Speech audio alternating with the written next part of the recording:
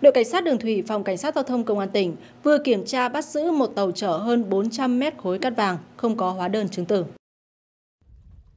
Trong quá trình lưu thông từ thượng lưu về hạ lưu sông Hồng đến khu vực tỉnh Nam Định, phương tiện thủy mang biển kiểm soát VB1772, trọng tải 745 tấn lắp máy 400 CV do Nguyễn Văn Thành thường trú tại Việt Xuân, Vĩnh Tường, Vĩnh Phúc là chủ phương tiện kiêm thuyền trưởng đã bị đội cảnh sát đường thủy, phòng cảnh sát giao thông công an tỉnh kiểm tra. Trong khoang chứa lúc này có khoảng hơn 400 mét khối cát vàng không có hóa đơn chứng tử hợp pháp chứng minh nguồn gốc số cát nói trên. Hiện phòng cảnh sát giao thông công an tỉnh đang phối hợp với các đơn vị liên quan hoàn thiện hồ sơ xử xử lý theo quy định.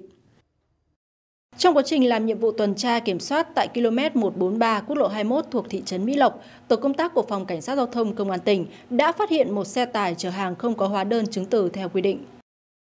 Xe ô tô tải biển kiểm soát 18C00674 do Đào Văn Dụng trú tại Nam Trực, Nam Định điều khiển đang lưu thông theo hướng Hà Nam, Nam Định. Lực lượng cảnh sát giao thông ra hiệu lệnh kiểm tra. Trên xe lúc này đang chở nhiều mặt hàng như mũ bảo hiểm không tem mác, đồ gia dụng, đồ chơi trẻ em sản xuất tại Trung Quốc, trong đó có cả đồ chơi mang tính bạo lực. Qua kiểm tra, chủ hàng không xuất trình được giấy tờ hóa đơn chứng minh nguồn gốc xuất xứ. Phòng Cảnh sát Giao thông Công an tỉnh đã lập biên bản và bàn giao cho đội quản lý thị trường số 1, Cục Quản lý Thị trường Nam Định để xử lý theo thẩm quyền.